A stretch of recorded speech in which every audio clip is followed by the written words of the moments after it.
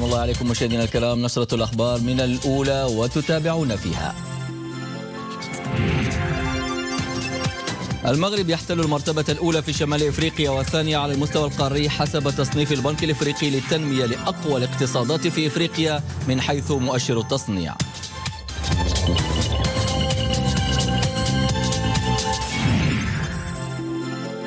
تزويج القاصرات إشكالية تطرح تداعيات اجتماعية ونفسية خطيرة على الفتيات وضمن النشرة نلامس الأسباب والمقاربات التي من شأنها معالجة الظاهرة.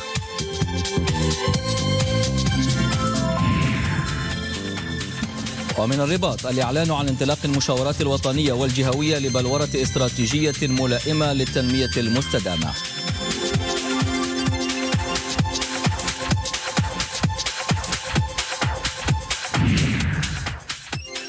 الأبطال المغاربة يواصلون بمراكش تألقهم في منافسات الدورة السابعة للملتقى الدولي مولاي الحسن لألعاب القوى للأشخاص في وضعية إعاقة.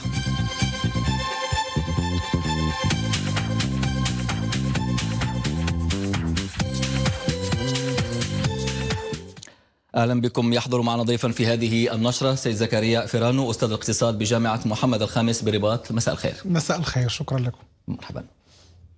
المغرب واحد من الاقتصادات الصناعية الأقوى في القارة الإفريقية. هكذا وصف البنك الإفريقي للتنمية المملكة المغربية التي صنفت في المركز الثاني افريقيا فيما يتعلق بمؤشر التصنيع. المزيد من التفاصيل في ورقة حافظ الهواري ونردي اللبني. وصف البنك الإفريقي للتنميه الاقتصاد المغربي كواحد من الاقتصادات الأكثر تطورا في إفريقيا. فصادرات الصناعات التحويلية تمثل 21.2% من مجموع صادرات إفريقيا في هذا القطاع. ويأتي المغرب ثانيا في إفريقيا من حيث مؤشر التصنيع الإفريقي الذي يصدره البنك الإفريقي للتنمية. وذكر تقرير لهذا البنك أن الحكومة المغربية أعطت الأولوية للتنمية الصناعية خصوصا قطاع السيارات مشيرا إلى أنه ما بين 2015 و 2018 ارتفعت حصة المغرب من إجمالي القيمة المضافة للتصنيع في إفريقيا من 1.7% إلى 7.6% المغرب قطع أشواطا متقدمة في صناعة السيارات. وينتج حاليا حوالي 960 ألف سيارة بمنظومة صناعية متطورة ومتكاملة.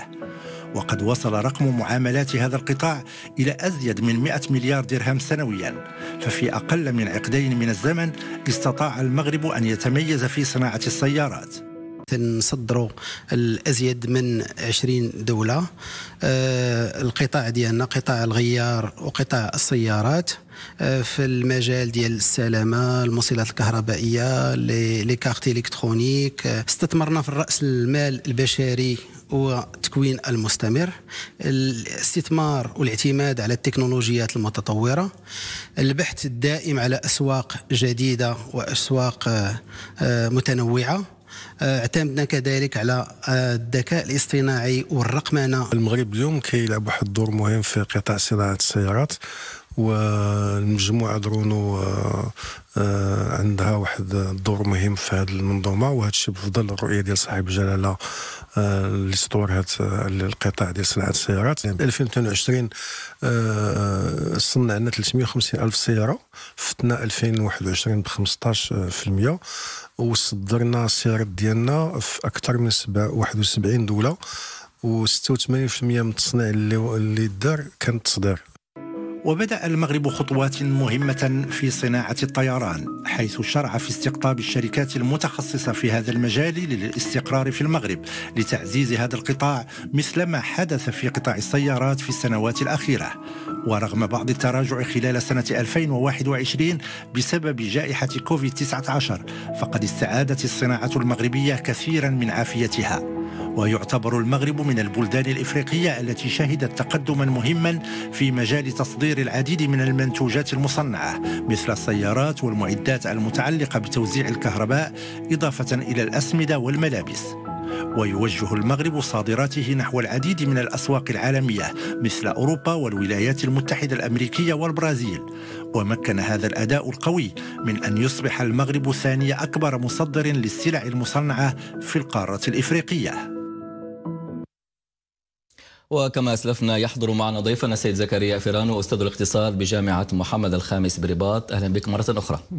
إذا بداية سيد فيرانو في مؤشر التصنيع للبنك الإفريقي للتنمية المملكة المغربية في الصدارة على مستوى الشمال الإفريقية وفي المرتبة الثانية آه، قاريا. أسألكم عن عناصر قوة الصناعة المغربية التي بوأتها هذه المكانة القارية.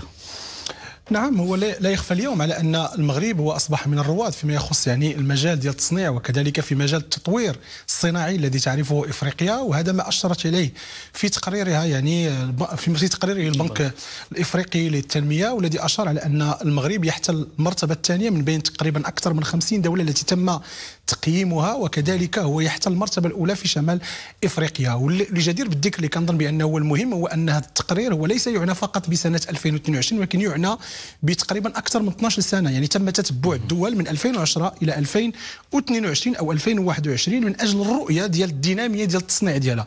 واللي كي واللي كيبوء هذا المغرب واللي كيبوء المملكة المغربية واحد المكانه اللي بقات دائما هي في المرتبة الثانية فيما يخص سنة 2010 إلى سنة 2021 وهذا يبين على أن المغرب ليس فقط تم ترتيبه اليوم في سنة 2021 ولكن هناك واحد الدينامية التي هي دينامية على بعد أكثر من 12 سنة التي تؤكد على أنه سياسات التصنيع والسياسات التي يندمج فيها المغرب فيما يخص المجالات الصناعية هي سياسات ناجعة وأدت إلى أن المغرب يتبوأ هذه المكانة.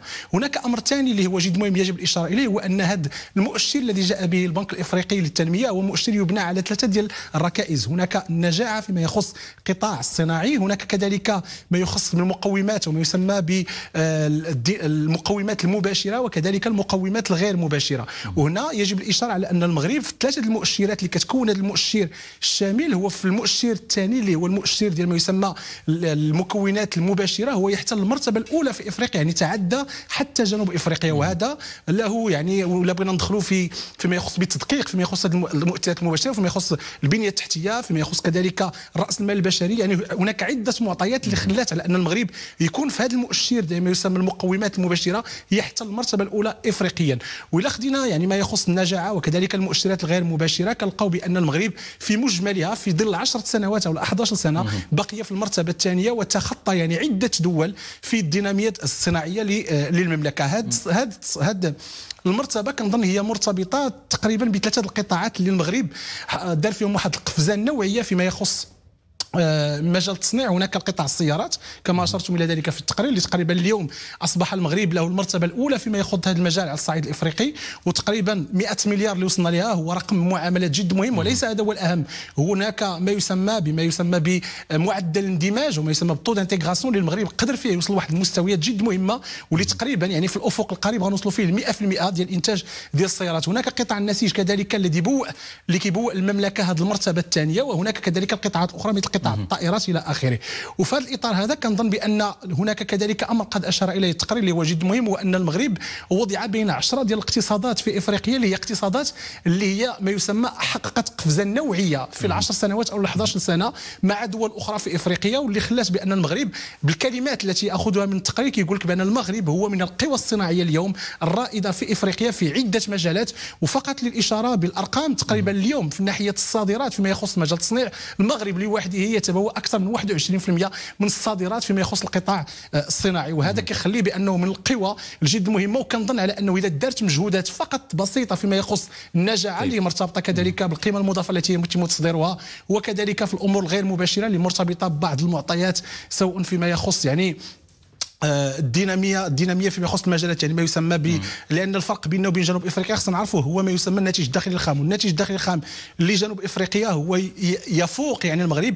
يعني كنظن بأنه في السنوات القادمة أو في خمس إلى عشر سنوات يقدر المغرب أنه يتبوء المكانة الأولى إلى وصلنا لهذا المستوى اللي وصلت ليه جنوب إفريقيا فقط في الناتج الداخلي الخام طيب. لأن نحن تتفوقوا عليها في مجالات أخرى. نبقى معك في نفس السياق أستاذ فيرانو. يعني تحدثتوا على المجالات الصناعية اللي بقيمة مضافة تحدثتوا على السيارات على الطائرات النسيج الصناعه الغذائية واللائحة طويله نعم. طويلة نسولكم يعني كيفاش استطاعت المملكة بفضل الرؤية الملكية السامية أن تتموقع في خريطة التصنيع العالمي يعني بما يواكب التحولات المنظومة الاقتصادية اللي كتعرفها يعني الصعيد العالمي هو كنعرف كنعرفوا بأنه قبل يعني تقريبا 10 إلى 15 كانت هناك برامج مرتبطة بالتصنيع فيما يخص فيما يخص يعني تطوير ديال الاقتصاد الوطني. وكنعرفوا بأنه إلى رجعنا 15 سنة كان الاقتصاد ديالنا يبنى على القطاع الفلاحي يبنى على الاقتصاد الأولي ولم يكن يعني هناك يعني واحد نقدروا نقولوا واحد القيمة مضافة تأتي من القطاعات الصناعية. هناك عدة برامج وضعت هناك plan émergence هناك آه، عدة سياسات وضعت من أجل تطوير ما يخص المجال الصناعي. وكنظن بأن القفزة النوعية التي قام بها المغرب هي اليوم اللي كيهضر عليها التقرير هي فيما يخص مجال السيارات لأن إحنا اليوم بدينا بما يسمى بالمناولة في السيارات ولكن اليوم انتقلنا أن المغرب قادر على أنه يصنع سيارة اللي تقدر تكون في الأمد القريب كنظن انها تكون 100% مغربية. وهذا غيعطينا القدرة على أننا نلحقوا فيما يخص المجال التكنولوجي وكذلك فيما يخص كذلك التنافسية الدولية بدول أخرى. اليوم هي رائدة في مجال السيارات وكنظن بأن حتى اليوم الاستراتيجيه التي يضعها سواء النظره المستشرفيه صاحب الجلالة نصره الله وكذلك النظره الاستباقية هي أن في التحالفات اليوم سواء مع الهند سواء مع الصين سواء مع دول أخرى اللي هي لها تقدم كبير فيما يخص المجال التكنولوجي. كتخلينا أننا غيكون عندنا واحد الواقع أكبر على ما يسمى قطاع في قطاع السيارات. هناك كما أشرتم إليه هناك كذلك أمر اللي هو جد مهم. خصنا ما نساوش بأن المغرب كذلك استثمر في الرأس المال البشري. اليوم حنا عندنا كفاءات مغربية اللي هي قادرة على أنها تقوم بصناعة السيارات. واليوم ما يتم إنشاؤه في المغرب من السيارات كما أشرنا إليك سواء في رونو أو عده سيارات أخرى دون ذكر أسماء كنعرفوا بأن جميع اليد العاملة هي يد عاملة مغربية. إذا اليوم عندنا الكفاءات اللي هي قادرة على المؤهلة أو قادرة على أنها تخوض ما, ما يسمى غمار صناعة صناعه 100% مغربية لقطاع السيارات.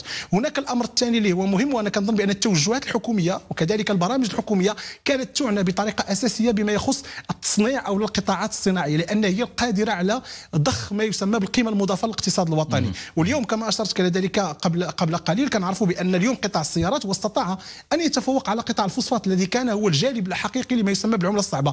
اليوم قطاع السيارات هو الأول فيما يخص المعاملات التجارية أو الواردات بالنسبة للمغرب. هناك كذلك قفزه نوعيه التي جاء بها التقرير وفيما يخص الفوسفات. اليوم التحول الذي جاء فيما يخص المكتب الشريف للفوسفات الذي أصبح يصنع ليس فقط يصدر ما يسمى بالفوسفات أصبح اليوم يصنع ما يسمى بالمواد اللي كتدخل في القطاع الفلاحي يتم تصنيع كذلك بعض المخرجات من الفوسفات. خلات بأنه يكون هناك ليس فقط استغلال لما يسمى بالثروات الطبيعية ولكن هناك تصنيع لهذه الثروات. هذه اللي خلات كذلك أن هذا القطاع يأثر بطريقة إيجابية على تصنيف المغرب فيما يخص التقرير الذي جاءت به آه الذي جاء به البنك الإفريقي للتنمية. طيب آه، سيدي فران في ظل يعني التحديات التي تعرفها الظرفية الاقتصادية العالمية أسألكم عن الآفاق أي آفاق اليوم أمام الصناعة المغربية يعني لتواصل ذلك الاشعاع ليس فقط على المستوى القاري لكن أيضا على المستوى العالمي.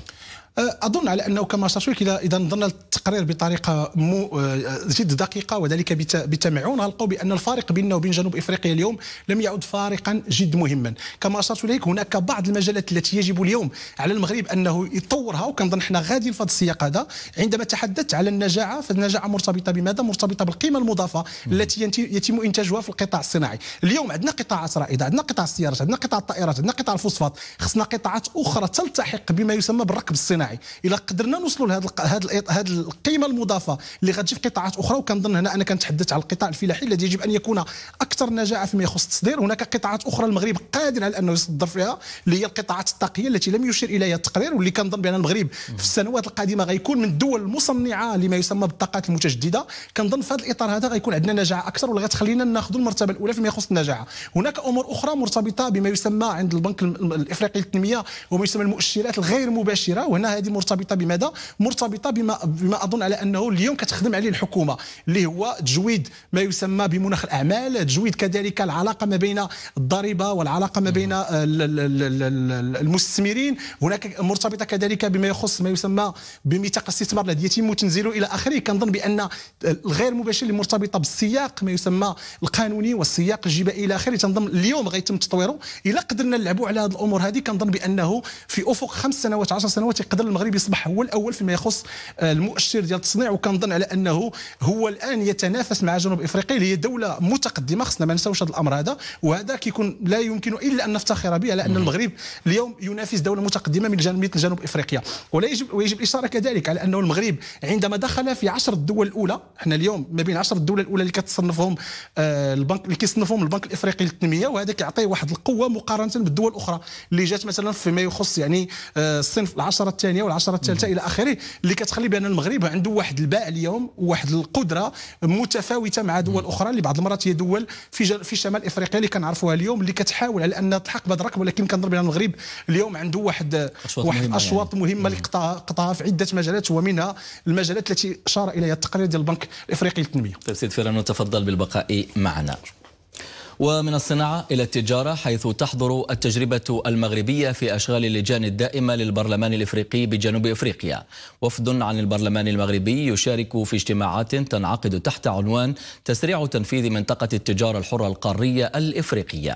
ورش كبير من شأنه إحداث سوق موحدة للسلع والخدمات وتعميق التكامل الاقتصادي للقارة الإفريقية. ويتضمن جدول أعمال هذه الاجتماعات مواضيع تهم المواطن الإفريقي بصفة مباشرة. أبرزها الارتقاء بأنظمة التعليم في إفريقيا حكامة الهجرة وتنقل اليد العاملة والمساواة بين الجنسين في الفضاء الرقمي ومن جنوب إفريقيا تنضم إلينا اللحظة مباشرة سيدة هناء بن خير عضو فريق الاتحاد العام للشغالين بالمغرب بمجلس المستشارين وعضو البرلمان الإفريقي أهلا بك سيدتي. شكرا شكرا على الاستضافة شكرا لكم. مرحبا. بداية سيدة بن خير لو تقربين يعني من مشاركة الوفد المغربي ضمن أشغال اللجن الدائمة للبرلمان الإفريقي. في إطار أشغال البرلمان الإفريقي المقام بجوهانسبورغ في جنوب إفريقيا الوفد المغربي حاضر بقوة مشاركة قوية داخل اللجان الدائمة. تموقع قوي كذلك داخل اللجان الدائمة ومكتسبات حقيقية حققها الوفد المغربي وذلك من خلال يعني ترأس تجمع الشباب الإفريقي وكذلك دفاع مستميت عن الوحدة الترابية المغربيه في كل الفرص التي تتاح له. طيب تسريع تنفيذ منطقة التجارة الحرة القارية الإفريقية يعني تصدر نقاشات اللجنة الدائمة للبرلمان الإفريقي أين تتجلى أهمية إحداث هذه المنطقة وبأية آثار على المواطن الإفريقي؟ أكيد يعني اتفاقية زيكاف والتي سوف تمكن من إحداث سوق قاريه موحدة بحجم 1.3 مليار مستهلك سوف تمكن من تحقيق مكتسبات حقيقية. يعني ذلك من خلال يعني إنقاذ 30 مليون مواطن إفريقي من الفقر وكذلك تحسين الدخل ديال 68 مليون إفريقي بالإضافة إلى ذلك والأهم هو زيادة الثروة القارية بنسبة ب 450 مليار دولار. طيب تفضلي بالبقاء معنا سيدة من خير أعود لك سيد فيرانو. تسريع تنفيذ منطقة التجارة الحرة القارية الإفريقية. كيف يمكن لهذا الورش الكبير أن يساهم في خلق سوق موحدة للسلع والخدمات ومن خلال يعني تعبيق التكامل الاقتصادي للقارة الإفريقية؟ هو صحيح هذه النقطة كتبقى نقطة سوداوية فيما يخص التعاملات ما بين الدول الإفريقية وكنظن بأن المغرب يقوم بمجهودات جبارة من أجل أن تكون هناك تكاملات سواء فيما يخص الاقتصادات الإفريقية لأن إحنا عندنا في إفريقيا جميع المقومات من أجل أن نكون يعني عندنا القدرة ديال التك... ديال أننا نستغناو على ما يسمى بالدول الأخرى سواء أوروبا وإفريقيا طاقات متواجدة في إفريقيا هناك القدرة الفلاحية المتواجدة في إفريقيا إلى آخره. اليوم حتى بما أش... فيما أشار إلينا في التقرير ديال البنك الإفريقي للتنمية هو يتحدث كذلك على ما يسمى بالمنطقة الحرة وما يسمى زليكاف. وفي هذا الإطار هذا هو يؤكد على أنه من بين العوامل التي تؤدي إلى عدم نجاعة التبادلات التجارية ما بين الدول الإفريقية هو ما يسمى بما يسمى بليكو يعني ما يسمى بال يعني بالنفقات آه. آه. نعم. ما يسمى بالنفقات التي يتم تاديتها عن طريق الجمارك أو عن طريق التبادل التجاري اللي كتأدي على أنه تيكون هناك واحد النقص في التعامل ما بين الدول الإفريقية. الوضع هذا هذا ما يسمى بالمنطقة الحرة أو الزليكاف كنظن بانها غتعطي واحد القدرة بالنسبة سواء الاقتصادات مثل المغرب اللي هي اقتصادات اللي هي متمكنة في عدة مجالات أنها توضع المنتوجات ديالها باثمنه جد مهمة في هذه السوق الحرة. كذلك غتستافد من ما يسمى بالتنقلات ما بين الأشخاص والتنقلات ما بين رؤوس الأموال دون أن يكون هناك تعاريف لهذه التنقلات هذه وهذا غيؤدي على أنه البضاعات التي سوف تنتج وكذلك الصناعات التي يتم تطويرها غتكون القيمة المضافة ديالها جد مهمة وكذلك الاثمنه الاثمنه ديالها في متناول الدول الإفريقية. حنا كنعرفوا بأن اليوم على بعد 15 سنة نحن نتوقع على أن إفريقيا غيكون فيها أكبر عدد ديال السكان في العالم. هناك كذلك طبقة متوسطة التي ستكون الأكثر أهمية بالنسبة بالنسبة للعالم وهذه تشكل سوق جد مهمة سواء بالنسبة لجميع الدول الإفريقية. إذا إذا وضع وضعنا هذا ما يسمى بالمنطقة الحرة. غتأدي على أنه غيكون هناك واحد التبادلات أكثر أهمية اللي تقدر توصل كما أشارت إلى ذلك السيده المستشاره تقريبا أكثر من 400 مليار اللي غتخلي بأن جميع الاقتصادات غتقدر تستافد. ما يسمى حنا كنسميو لي زيفي سينيرجي يعني التكاملات ما بين الدول وغتخلي بأنه الدول الإفريقية سوف تستفيد في مجملها من جميع النواقص اللي كتعاني منها اليوم سواء عن طريق الأغذية أو كذلك عن طريق ما يسمى بالسيارات لأن كنعرفوا بأن هناك واحد النقص حاد فيما فيما يسمى في, في السيارات في, في القاره الإفريقية وعدة منتجات أخرى اللي محتاجة لها القاره الإفريقية. وكنظن بأن أول مدخل هو أنه يكون الرفع ديال ما يسمى بالحواجز. سواء الحواجز المرتبطة بالضرائب الحواجز المرتبطة كذلك بالنقل إلى آخره إلى آخره. واليوم الإفريقية اليوم حنا عندنا تقريبا ثلاثة إلى أربعة ديال الميناءات مهمة في إفريقيا. المغرب إن شاء الله غيكون عنده جوج هناك ميناء طنجه اللي هو أول ميناء اللي كيخليها بوابة بالنسبة لإفريقيا لجميع المنتجات وكذلك بوابة خروج بالنسبة للصادرات. وهناك اليوم ميناء الداخل الذي يتم تاسيسه اللي غيكون هو بوابة أخرى واللي غيقدر يخلي واحد ثلاثة المنافذ الا زدنا عليه ميناء لوما أو ميناء ديال جنوب إفريقيا اللي غيخليو بأن يكون القاره الافريقيه يكون عندها جميع المكونات اللوجستيكية زائد ما أشرتم إليه المنطقة الحرة اللي غتخلي التنافسيه ديال ديال القاره الافريقيه تكون أكبر. وحنا كنعرفوا بأن هناك كذلك نواقص عند بعض الدول هناك مشاكل فيما يخص التغذية هناك مشاكل فيما يخص الصناعات الفلاحية هناك مشاكل كذلك فيما يخص الولوج إلى ما يسمى بالمواد الغذائية. إذا وضعنا هذا ما يسمى بالمنطقة الحرة غادي تخلي بأن غيكون هناك واحد العلاقة رابح رابح ما بين الدول اللي ممكن يكون عندها واحد المواد اللي تقدر تستافد منها دول أخرى ويخلي هذا يكون واحد التكامل بالنسبة لافريقيا وكنظن بأن حتى التوجه ديال صاحب الجلالة نصره الله في النظرة ديالو بالنسبة للعلاقات المغربية الإفريقية هي هي نظرة تكاملية نظرة تآخي ونظرة تآزر حتى فيما يخص المجال الاقتصادي. طيب أعود إليك سيدة بن خير يعني حضرتم أشغال لجنة التجارة والجمارك والهجرة بالبرلمان الإفريقي إلى أي حد لامستم يعني اهتمام الأفارقة بالتجربة المغربية الرائدة في هذا المجال؟ أكيد أكيد هناك إشادة كبيرة بالتجربة المغربية وكذلك الإنجازات مهمة آه، التنموية في الاقتصاد المغربي وذلك آه، قد استعرضنا يعني التجربة المغربية في مجال صناعة السيارات التجربة الريادية كذلك والخطوات المهمة في مجال صناعة الطيران والاستثمار في في مجال الأسمدة وكذلك الورشة الملكي السامي الذي يقوده صاحب الجلاله الملك محمد السادس نصره الله من أجل خلق السياده الصحيه وذلك من خلال خلق أول مصنع للقاحات والبيوتكنولوجيا وكذلك التطور في مجال السكك الحديدية الوطنية. سيدة وهذا أيضا تفضلي وهذا ما يمكن كذلك من يعني التأكيد على أن الحقيقة يعني تبوء المغرب الريادة في على مستوى شمال إفريقيا في مجال التصنيع المرتبة الأولى في مجال التصنيع المستوى آه، شمال إفريقيا والمرتبة الثالثة على المستوى القاري. سيد هناء بن خير عضو فريق الاتحاد العام للشغالين بالمغرب مجلس المستشارين وعضو البرلمان الإفريقي. شكرا لك. الشكر الموصول لسيد زكريا فيرانو أستاذ الاقتصاد بجامعة محمد الخامس بالرباط. شكرا لكما. شكرا لكم. مرحبا. والسياحة تنتعش بقوة وتعود إلى سابق عهدها بعد عامين تأثرت فيها كل القطاعات عبر العالم بتداعيات جائحة كورونا. الأرقام تتحدث عن نسب ملء تسجلها الوحدات الفندقية المغربية باختلاف المناطق والوجهات المغربية وتعدد مؤهلاتها وعناصر الجذب فيها. تتقدمها حفاوة المغاربة.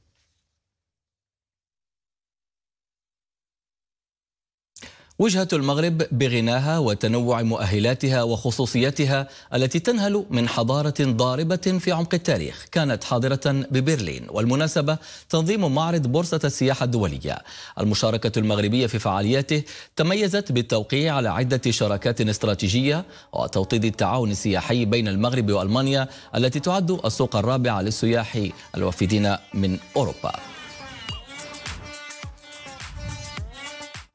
وانتعاش ملموس تلمس أن تعرفه كذلك حركة النقل الجوي بمطار الناظور العروي بنسبة استرجاع تصل إلى 113% مقارنة مع سنة 19 و2000 نتائج واعدة. هي ثمرة إعادة تهيئته وتوسعته ليترجم سياسة الطيران المدني الهادفة إلى الرفع من القدرة الاستيعابية للمطارات.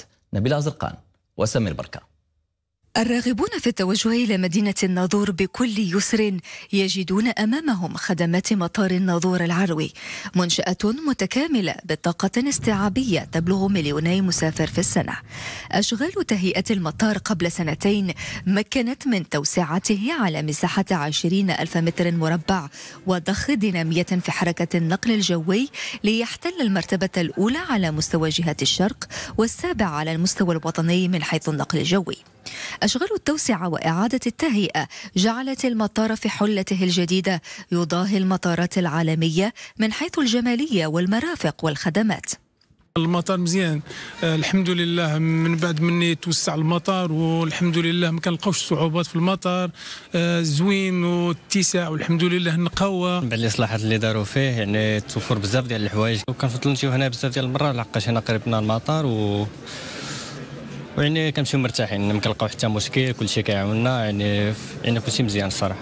أبناء الجالية المغربية المقيمة في الخارج أصبح بإمكانهم معانقة أرض الوطن كلما استبد بهم الحنين إلى الأهل انطلاقا من رحلات من عدة دول. وسلاسة في استكمال إجراءات السفر في زمن قياسي تلقى استحسانا من المسافرين.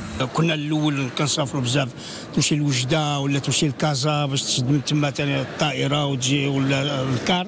أما دابا الحمد لله. المطار يعني تطور بزاف يعني في خصوصا في السنتين الأخيرتين. ولاحظت بأنه كيستقبل بزاف ديال ديال الأفراد الجالية يعني من مختلف الأقطار الأوروبية. آه، هو يعني آه، قيمة مضافة بالنسبة لإقليم الناظور يعني. حركية دؤوبة للنقل الجوي بمطار الناظور العروي على مستوى الربط الجوي الوطني والدولي تسجل انتعاشا ملموسا مؤشرة إيجابية في أفق تحقيق أهداف سياسة الطيران المدني الرامية إلى الرفع من القدرة الاستيعابية للمطارات. عرف مطار الناظور العروي انتعاشا ملموسا على مستوى حركة المسافرين حيث سجل ما يفوق عن 837 ألف مسافر برسمة سنة 2022 أي بنسبة نمو تصل إلى أكثر من 8% مقارنة مع سنة 2019 وبالنسبة لحركة الطائرات ذهابا وإيابا بهذا المطار فقد سجلت كذلك سنة 2022 رقم 7400 رحلة أي بنسبة نمو تصل إلى أكثر من 13% مقارنة ب 2019 مطار الناظور العروي منشأة متكاملة الخدمات بمواصفات عالمية. الانتعاش الملموس للنقل الجوي به بوأه الريادة على مستوى الجهة وتطلع إلى زيادة قدرته على الربط الجوي وطنيا ودوليا إسهاما في تحريك الدينامية الاقتصادية. ليس في إقليم الناظور فحسب بل الجهة الشرقية بأكملها. من الناظور للأولى نبيل أزرقان وسمير بركة. وينضم إلينا اللحظة سيدي هشام رحيل مدير مطار الناظور العروي. مساء الخير سيدي. مساء الخير سيدي. إذا بداية سيد رحيل واش تمكن المطار حاليا من استعادة النشاط المعهود ديالو من بعد الفترة ديال الجائحة؟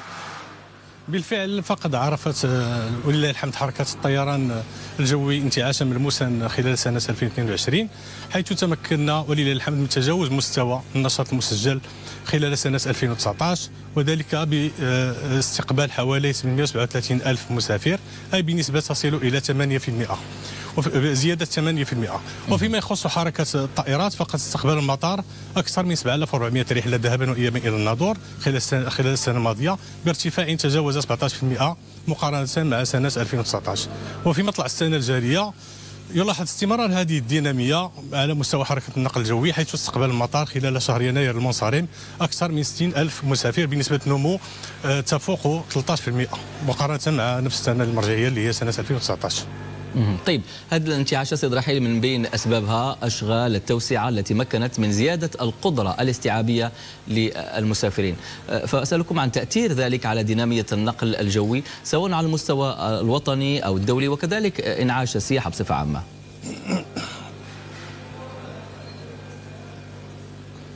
تماما. فقد تم بالفعل خلال سنة 2021 آه، تشغيل المحطة الجديدة لمطار الناظور العروي. هذه المحطة التي تمتد على مساحة إجمالية تتجاوز 20000 متر مربع وتبلغ طاقتها الاستيعابيه 2 مليون مسافر في السنة أي أربع مرات الطاقة الاستيعابية التي كانت مسجلة في المحطة القديمة. وقد مكنت هذه المنشاه العصرية والمتوفره على مرافق حديثة من خلق دينامية على مستوى حركة النقل الجوي هنا بالناظور وعلى النشاط السياحي بمدينة الناظور وبالمنطقة الشرقية ككل حيث تم خلق العديد من الخطوط الجوية وتعزيز الترددات الأسبوعية. لمجموعه من شركات الطيران الدولية. وفي هذا الإطار للإشارة فقط فمطار الناظور يرتبط ب 27 وجهة دولية. وعلى المستوى الداخلي فمطار الناظور مرتبط بمطاري الناظور آه، عفوا مطاري طنجة ومطار الدار البيضاء برحلتين في الأسبوع. طيب سيد رحيل هل هناك برامج مستقبلية لزيادة قدرة المطار على الربط الجوي على المستوى الوطني وحتى الدولي؟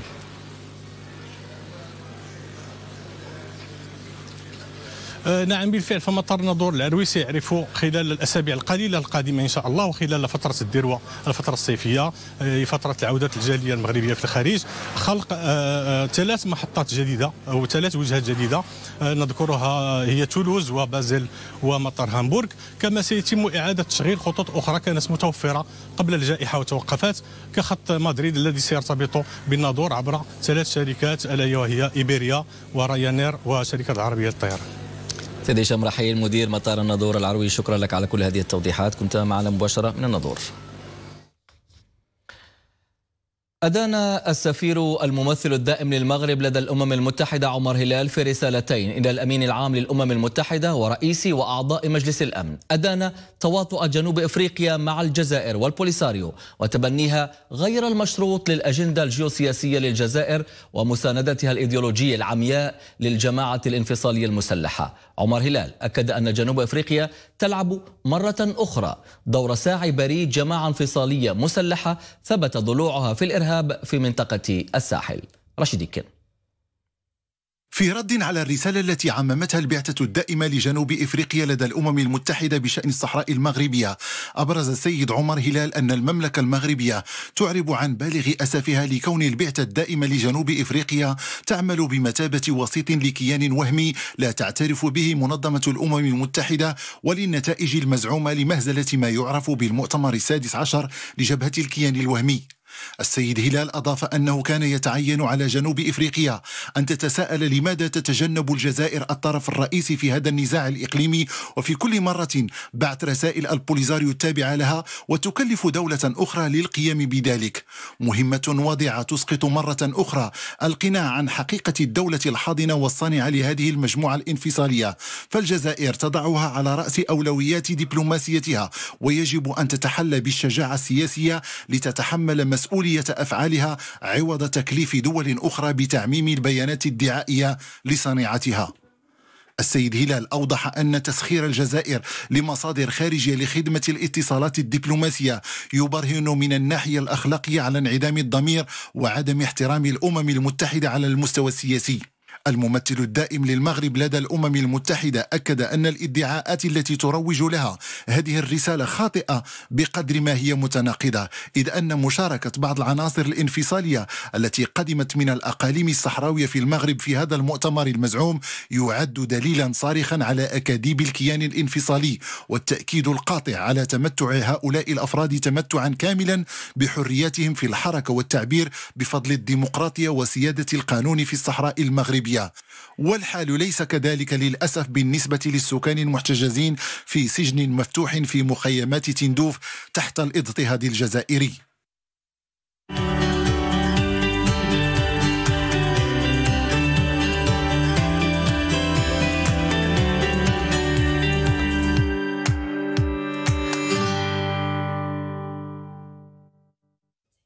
ثامن مارس مناسبة للاحتفاء بالمرأة المغربية وإنجازاتها لكنه أيضا مناسبة للتأمل للتقييم وللوقوف على إشكاليات تعاني من تبعاتها إلى اليوم نساء أو بالأحرى. قاصرات تم تزويجهن في سن مبكرة. غادرن براءة الطفولة مكرهات ليلجن عالم الكبار دون سابق إنذار. روبورتاج فن شاكر العلوي وعبد العلي قنوني في الوقت الذي سعت فيه فاطمة في سن الخامسة عشر سنة إلى الزواج هربا من وضع أسري هش. اصطدمت بواقع مر قوامه عنف متواصل لم ينفع معه صبر. لتستنجد بعد أربع سنوات بالجمعية المغربية لحماية الأسرة بشفشاون لتضع حدا لمعاناتها مع رجل انتهك براءة طفولتها باسم الزواج بأبشع الطرق. تزوجت وأنا على سن 15 عام. فملي تزوجت بواحد السيد يعني عشت معه جميع أنواع العنف بكل بكل معنى الكلمة يعني العنف جسديا لفظيا. هذه الظاهرة آه، تنتهك حقوق آه، الطفلات وتحريمهن من حقهن في في التعليم والتكوين والرعاية والحماية الأسرية. وحقهن في الصحة والرفاه وحقهن في السلامة آه، الجسدية والنفسية. للأمر تداعيات خطيرة متى تعلق الأمر بالقاصرات.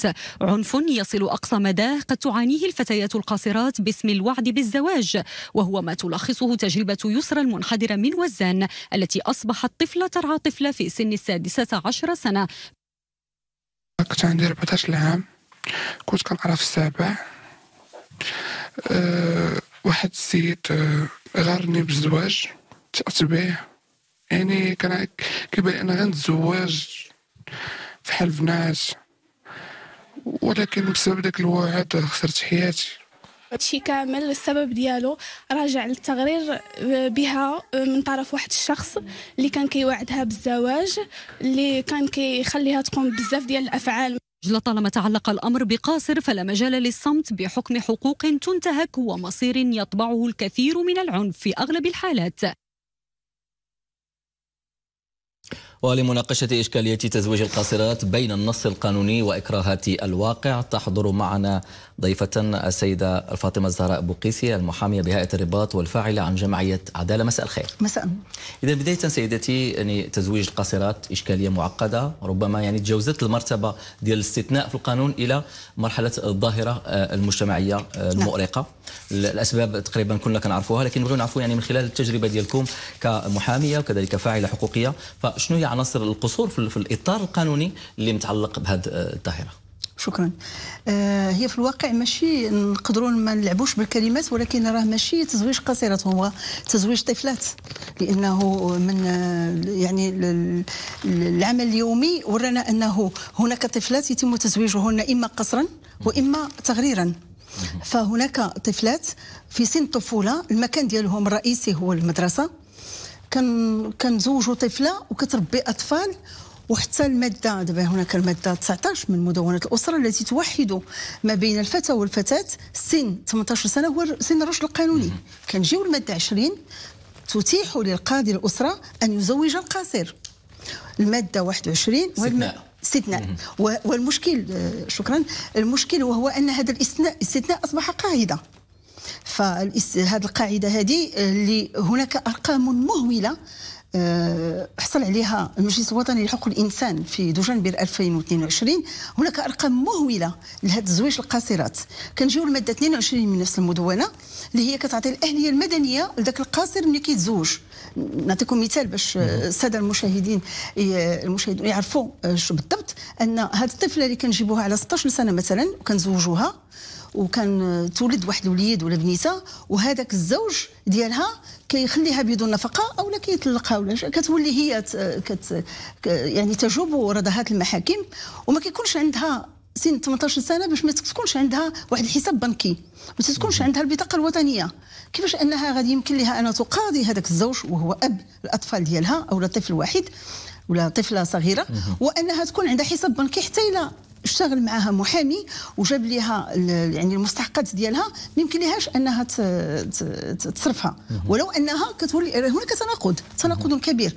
هناك أيضا آه، ضرب بالنسبة بالنسبة للدولي فوطنيا كنلقاو الفصل 19 كيقول لك بأن سن كما قلت الفتاة والفتاة 18 سنة.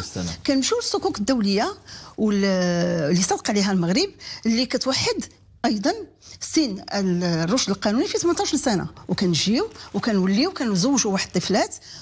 وكيقول لك بأنه العامل الاقتصادي والعامل كذا وبعض الأعراف والتقاليد في بعض المناطق النائية هي اللي كتجبر الوالدين لأنه في الفصل 21 كيكون أنه الولي الشرعي هو اللي كيعطي الموافقة لهذاك القاصرة باش تزوج. وبعض المرات هناك قاصر ذكر. ملي كنشوف هذه الموافقة ديال النائب الشرعي راه هذا بيع هذا هذا راه راه اتجار بالبشر. لأنه خصوصا في بعض المناطق كما كتعرفوا أنهم كيديروا ذاك الزواج ال contrat. زواج اللي هو كيدير واحد بحال رهن ديال واحد الدار ملي كتسالي واحد المدة كترجع له فلوسه. دابا هذيك البنت حتى كيتمتع بها هذاك الزوج ويقدر يكون كبر منها ب 20 30 سنة. ملي كيتفوت هذيك المدة وكيسالي هذوك الفلوس كيترجع كيرجع له بنته كيرد له كيرد له فلوسه هذا تجار بالبشر آه، سيدي. طيب أمام هذا الوضع نتحدثوا يعني على المداخل الأساسية باش أننا نحدوا من هذه الظاهرة المجتمعية وبالتالي نعالجوها. آه، أول حاجة أنه نمنعوا يعني إلغاء هذه المواد 20 21 22 من مدونه الأسرة يجب إلغاؤها. لانها لأن دستور 2011 آه، جاب لنا مبدأ الملائمة. المبدأ الملائمة الذي يتيح للقاضي المغربي أن يجعل من القوانين الدولية منها كتكون تسمو على القوانين المحلية. ولكن حنا القانون المحلي ديالنا براسو كيقول لك بأنه سن ديال الرشد القانوني هو 18 سنة. هذا الشيء في الفصل 19 اذا خصنا نلغيو هذا الفصل 20 21 22 نلغيو هذا زواج الكونترا. نلغيو هذا وحاجة أخرى بالنسبة يعني غائب هذاك الزوج. الطرف الثاني ملي كنجيب واحد بنيسة عندها 16 سنة 17 سنة 15 سنة ما كنشوفوش هذاك الزوج اللي كيجي يتزوج بها. شحال عنده من سنة؟ وكيجي بعض المرات راه كيدير لك في نفس الوقت كيدير لك تعدد تبقى الفصل 40 وكذا كيكون عنده جوج ديال الزوجات ولا هذا ويجيب لك واحد البنيته اللي صغيرة طفلة حتى هي كيتزوج بها. كيدير هناك خرق خرقين ما كيبقاش خرق واحد. فهذاك الشيء علاش يعني هناك ائتلاف دنيا لمنع تزويج الطفلات اللي آه، كونوه واحد المجموعه ديال الجمعيات الآن تشتغل في هذا المجال وتحاول أن ترسخ مبدأ عدم تزويج الطفلات والمكان ديالهم هو هو المدرسة أو اذا ما توفقتش هذيك البنيسة أو أو ذاك الفتى في المدرسة هناك أشياء أخرى تكوين آه شي حاجة اللي غادي يكسب بها الحياة ديالو مستقبلا. طيب وحنا كنعيشوا يعني تحولات مجتمعية اللي كتستدعي ربما واحد النفس آه، جديد وإصلاحي بالنسبة لمدونة الأسرة. يعني في نظركم تحدثتوا على الفصل 19 فشنو هي أبرز المقتضيات القانونية اللي يعني خصنا نجودوها ونفعلوها؟ باش نوفروا يعني حماية أكثر للنساء من العنف والتمكين ديالهم آه، الاقتصادي والاجتماعي في المجتمع. آه كما كتعرفوا انه بالرجوع إلى الخطاب الملكي ديال يوليوس 2022 هناك إشارة ملكية واضحة لمراجعة مدونة الأسرة وتغيير واحد المجموعة كبيرة من من المواد التي أصبحت متجاوزة في الوقت الراهن لأن مدونة الأسرة كانت في 4 فبراير 2004 إحنا دابا في 2023 16 سنه ديال الممارسة. نعم نعم. آه فهناك هذه المواد هذه خصها تبدل خصها تغيير اذا أول حاجة راه كاين واحد القانون اللي حتى هو صدر 103 13 اللي كيحاول ما امكن أنه يصلح بعض الثغرات اللي كاينين في المدونة وكاينين في القانون الجنائي وكاين في قانون المساله الجنائية اللي كيحد من العنف الزوجي. مثلا في قانون 103 13 آه يمنع يمنع ولكن المشكل أن هاد هاد القضايا ما كتلقاوهمش بزاف في المحاكم وهو أن الزوج ملي كيبغي يطلق واحد الزوجه ديالو ينفصل عليها كيحاول ما امكن أن دوك الأملاك ديالو كيحولهم إما في اسم اخت دي اخت ديالو أو الوالدة ديالو أو لشي حد آخر. المهم ما تيبقاوش في الاسم ديالو باش ما يمكنلكش أنك تثبت الوضعية المادية ديالو. اذا هذه المادة هذا القانون 113 كيحاول ما امكن أنه يسد ثغرات ولكن علاش غنبقاو في الحلول الترقيعية؟ يجب تغيير المدونة جذريا جذريا لصالح المجتمع. ما كنقولش غير لصالح المرأة لصالح المجتمع لصالح الطفل. لأن حنا كنقولوا بأنه المدونة الأسرة في المغرب تتمحور حول مصلحة الطفل. فين هي مصلحة الطفل؟ ملي كنزوجوا واحد البنيتة عندها 17 سنة وكنخرجوها من المدرسة وكنعطيوها لواحد العائلة اللي كتبقى تحكم فيها وكتردها أنها مساعدة في الأشغال المنزلية وتأكل العصا وتغتصب من طرف الزوج ولا أحد ينادي بتغيير الوضع. رسالة واضحة. أستاذة فاطمة زهراء بقيسية المحامية بهيئة الرباط والفاعلة عن جمعية عدلة. شكرا على كل هذه التوضيحات. مرحبا. الله يبارك. وأدوار مهمة يضطلع بها العنصر النسوي بالمديرية العامة للأمن الوطني باختلاف مصالحها وتخصصاتها. اليوم نتعرف على المهام اليومية للعميد ماجد التجاني بالشرطة القضائية. عبد الحميد جبران حسن سيلة وجهاد ليبري. مسارها الجامعي في المجال القانوني كان طريقها لتحقيق حلمها في ولوج أسلاك الأمن الوطني. مجدة تيجاني هي اليوم عميد في الفرقة الحضرية للشرطة القضائية بأمن الرباط. بعد حصولي على الإجازة في, في القانون الخاص من بعد كملت ماستر في قانون الأعمال. التحقت بالمديرية العامة للأمن الوطني سنة 2020 واللي هو كان الحلم ديالي منذ الطفولة واللي تكلل بالنجاح الحمد لله. والتحقت بسلك الشرطة برتبة عميد شرطة. مهام العميد مجد التيجاني رفقة زملائها في مصالح الشرطة القضائية.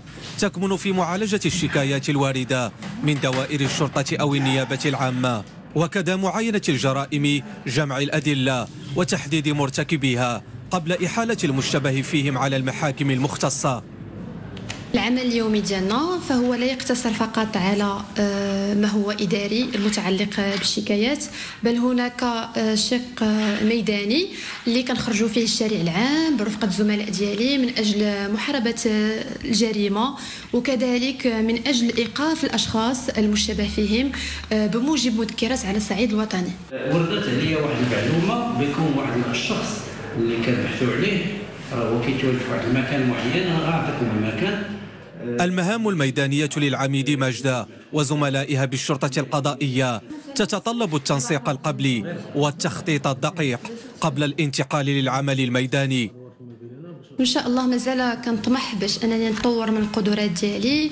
اولا على المستوى الذاتي آه، كوني كنتابع الدراسة ديالي بسلك الدكتوراه بالإضافة إلى التكوين المستمر والدائم اللي آه، كتوفر لنا المديرية العامة للأمن الوطني.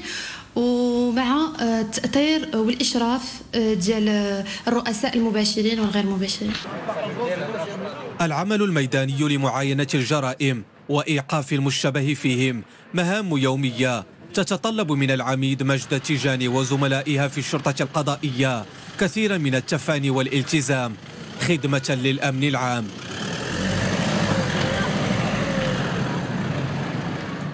ومن مصالح الأمن الوطني إلى الدرك الملكي وتحديدا بالمصلحة المركزية الصينو تقنية التي تتولى مهمة ترويض الكلاب وتدريبها للاستعانة بها في عمليات الكشف عن المخدرات والمواد المتفجرة. وهنا أيضا نون النسوة بمهام عديدة.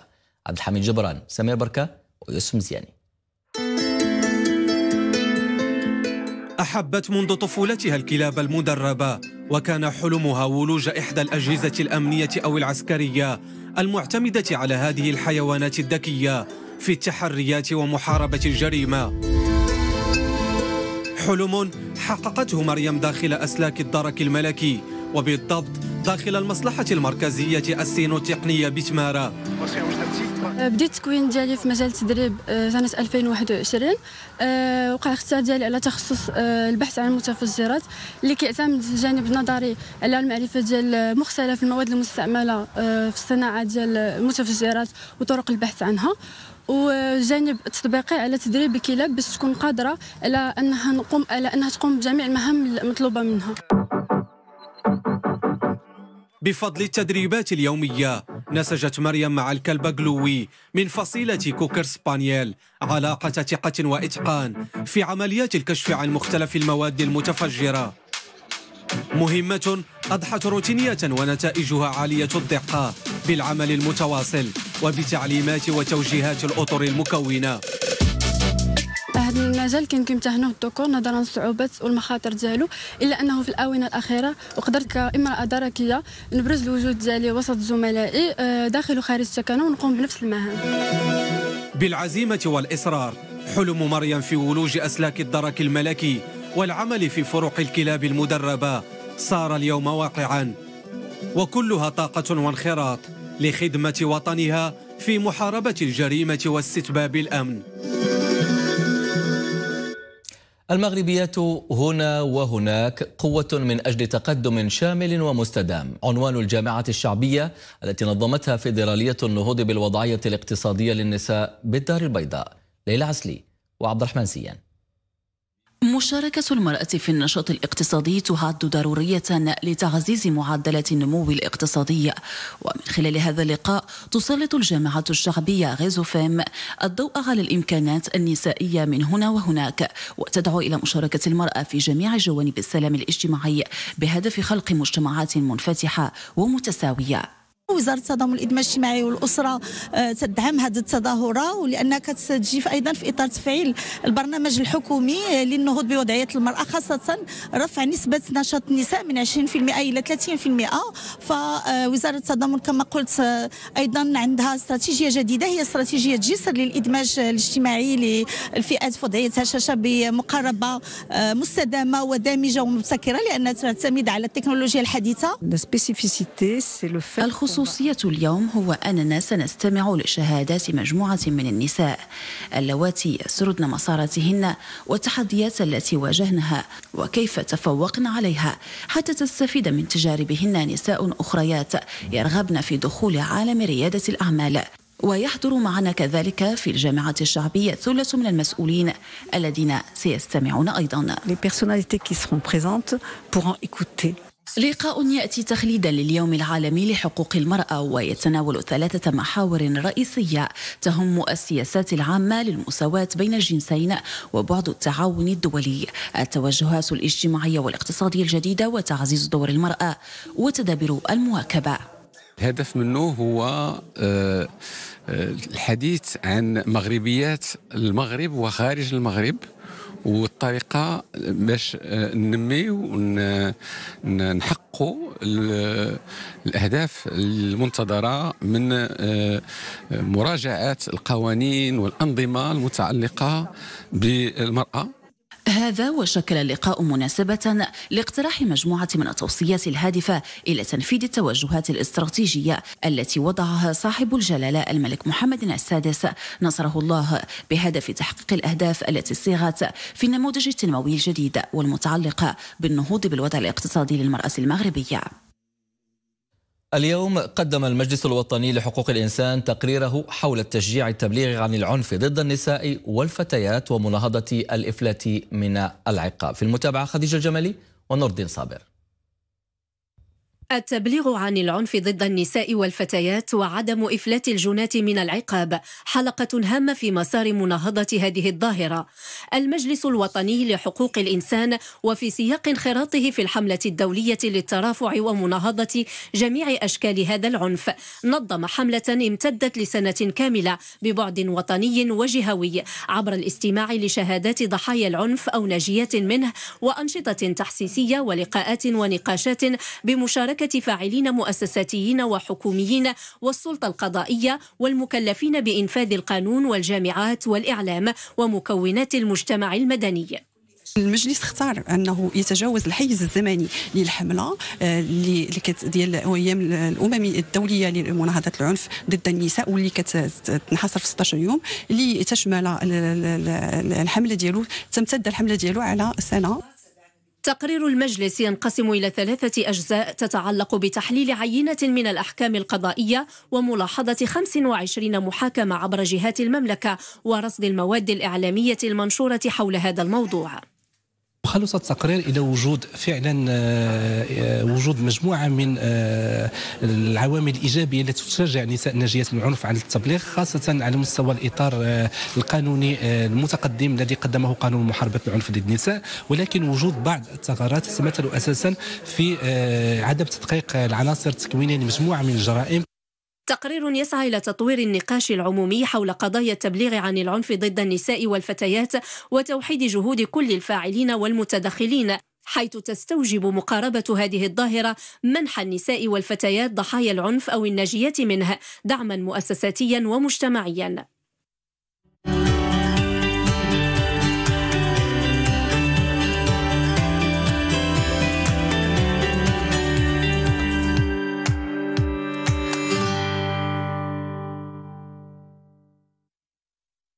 إلى إقليم مكناس حيث أعطيت انطلاقة خدمات ثلاث بنيات صحية حضرية وقروية بعد إعادة تأهيلها وتجهيزها.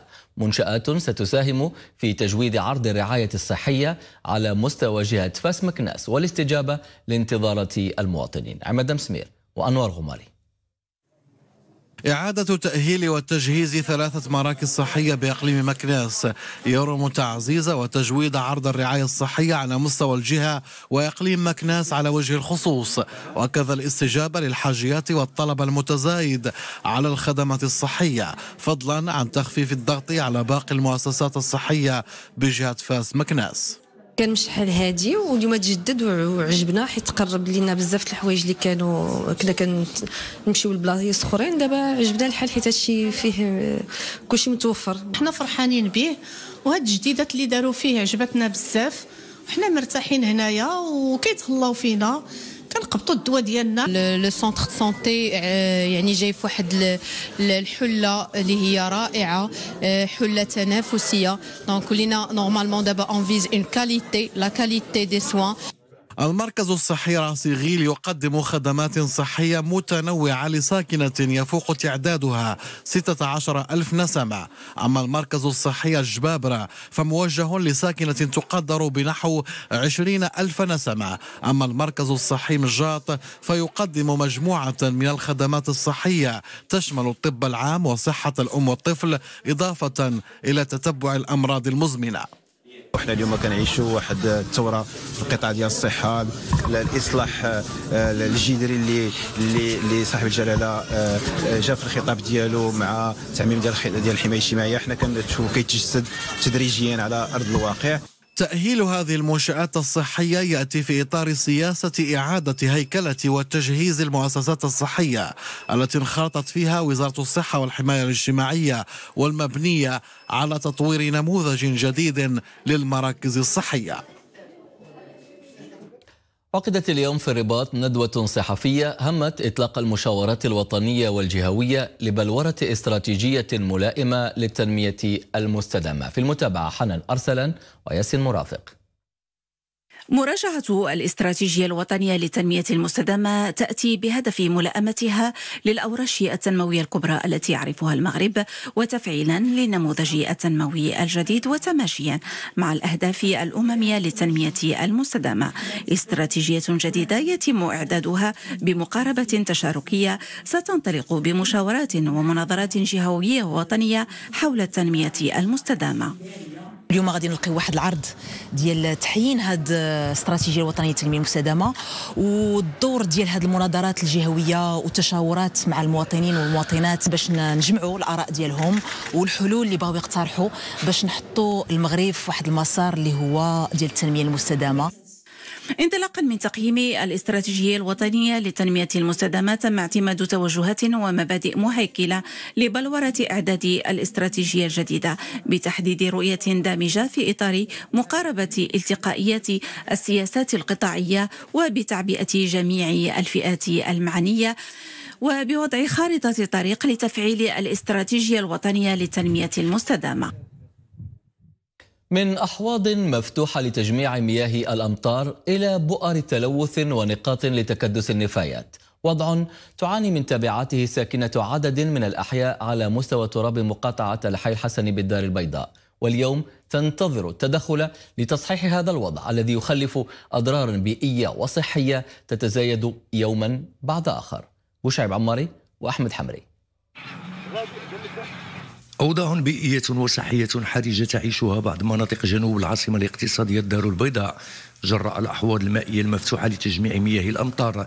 فعلى مستوى منطقة الرحمة ورياض الألفة والزبير تشكل هذه الأحواض بؤر تلوث وبيئة خصبة لتكاثر الحشرات والفيروسات وظهور أمراض جلدية. هنا فاش كتكون الشتاء كيفيض هذاك الماء ديال الواد الحار مع ديال ديال الشتاء كيتخلط؟ donc فاش كتصحى الشتاء راه كتشوفوا الحالة راه نتوما الريحة راه شفتوا كيفاش. ما تقدرش دابا راه كنهضروا والريحة راه مأثرة علينا. هنا هذا المشكل ما كاينش غير هنا كاين في جميع الأحياء ديال مقاطعة حي الحسن. كاين في رياض الولفة كاين في في جنان اللوز كاين هنا جيت ألماز فين كاين آه، رياض صوفيا. ضروري ما كيتسبب البنادم في شلة أمراض. ولهذا كنترجى من السلطات المعنية والمختصة في هذا الشيء ديال المجال الحضاري بأنهم يشوفوا في هذا الشيء هذا.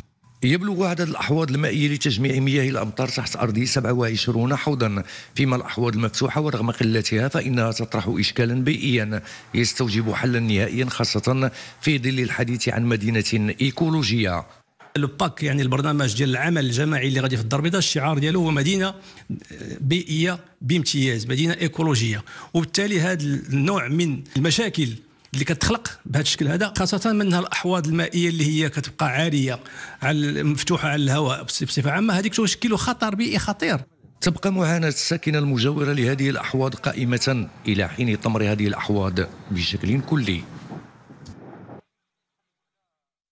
بإقليم تزنيت أطلقت مشاريع للنهوض بالتجهيزات الأساسية والبنى التحتية للمنطقة. ومن بين هذه المشاريع تزويد منطقة تفراوت والدواوير المجاورة لها بالماء الصالح للشرب. روبورتاج سمير أسبان وياسين المعسي.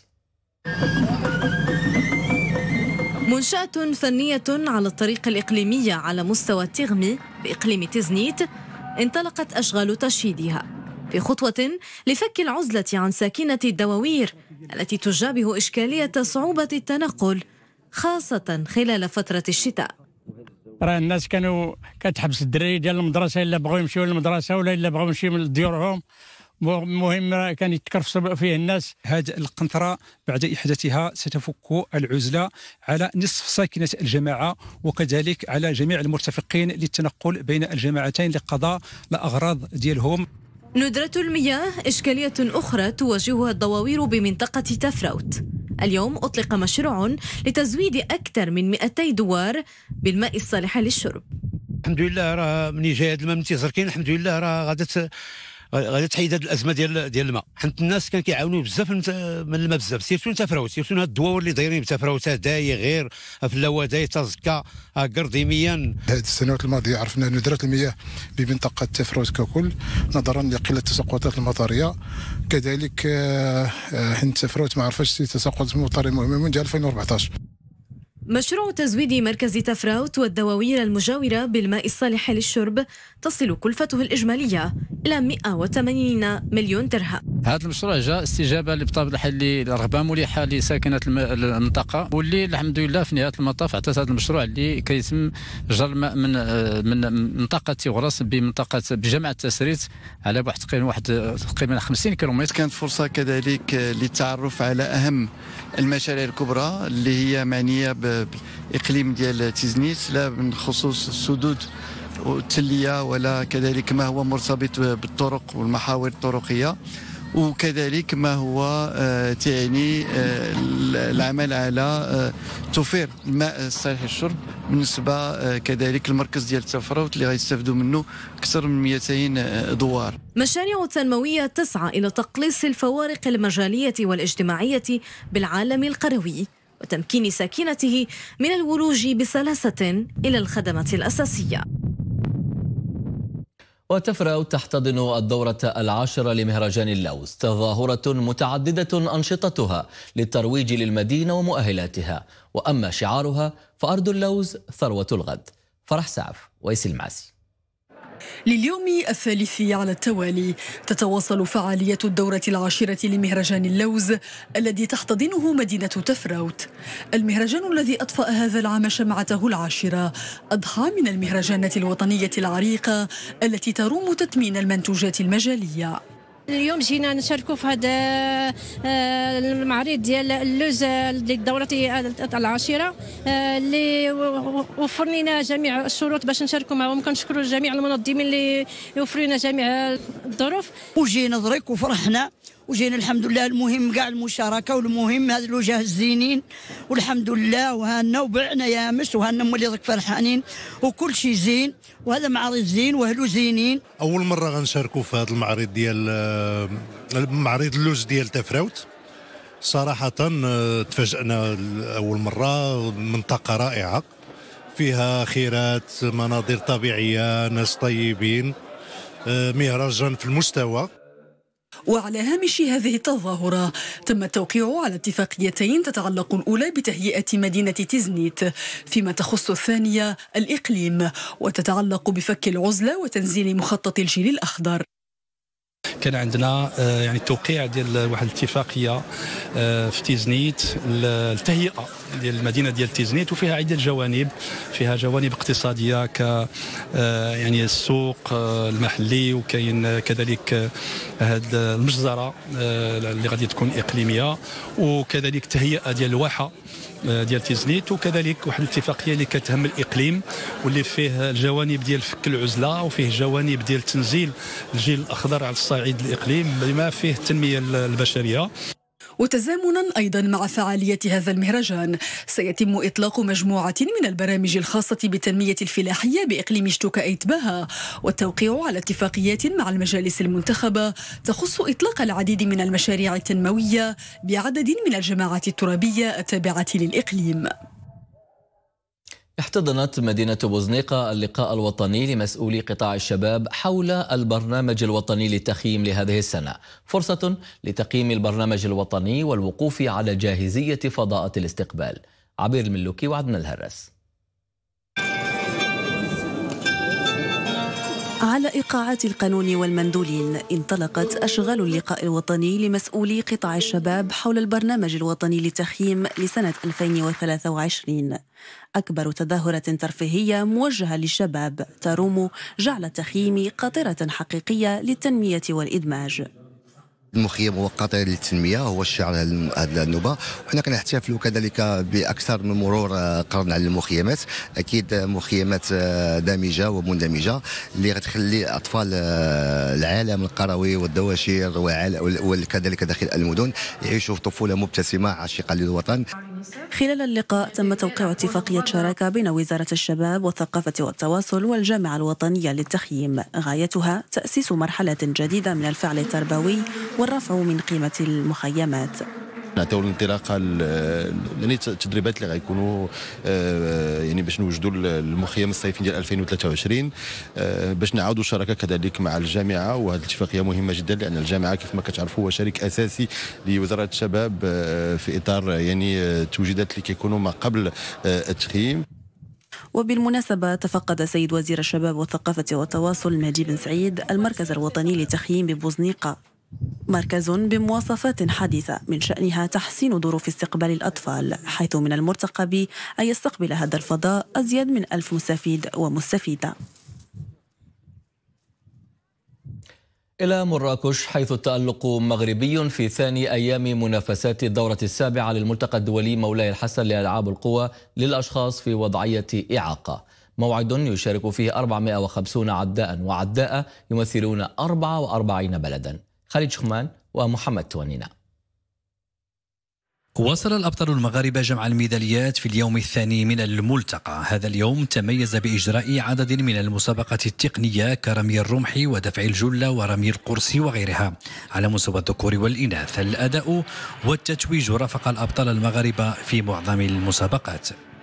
الحمد لله المنافسة كانت آه، كانوا بنات عندهم أوقات جيدة من الحمد لله قدرت نكيب السباق ونحصل على المرتبة الأولى بتوقيت شخصي جديد.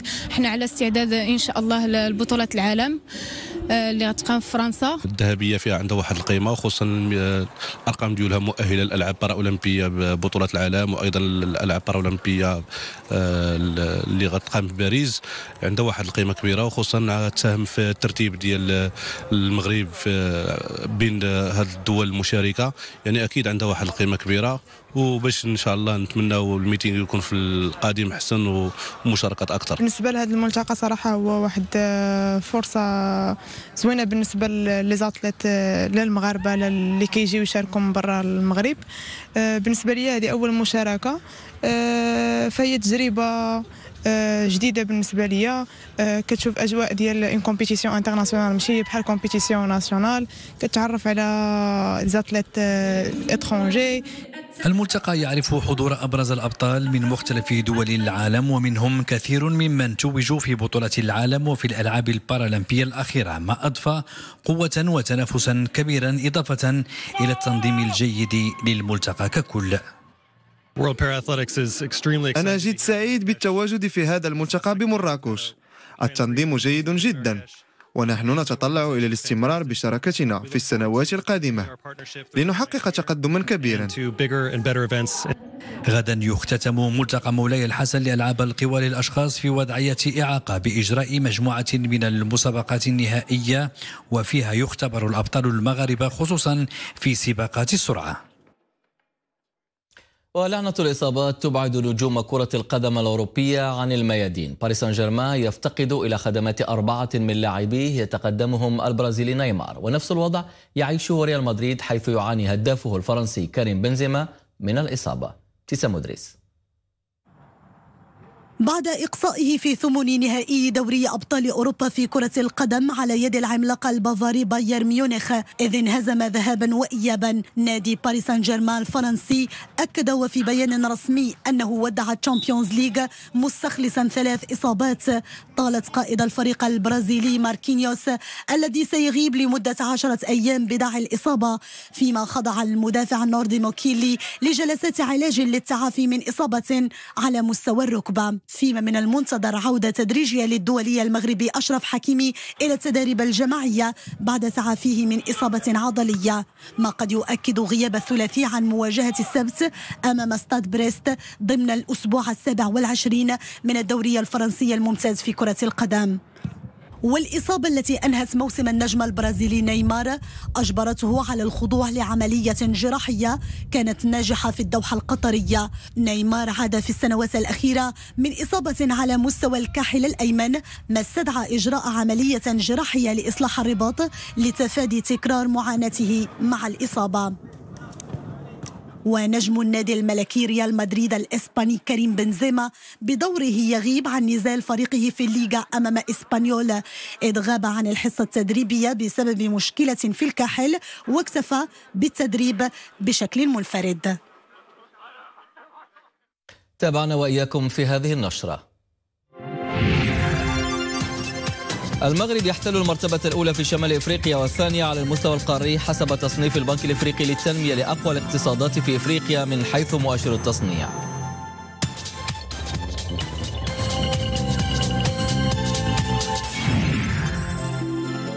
تزويج القاصرات إشكالية تطرح تداعيات اجتماعية ونفسية خطيرة على الفتيات وضمن النشرة لمسنا الأسباب والمقاربات التي من شأنها معالجة الظاهرة.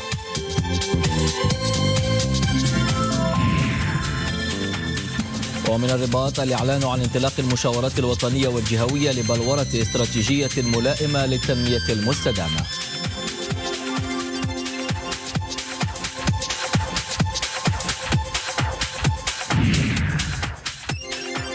الأبطال المغاربة يواصلون بمراكش تألقهم في منافسات الدورة السابعة للملتقى الدولي مولاي الحسن لألعاب القوى للأشخاص في وضعية إعاقة.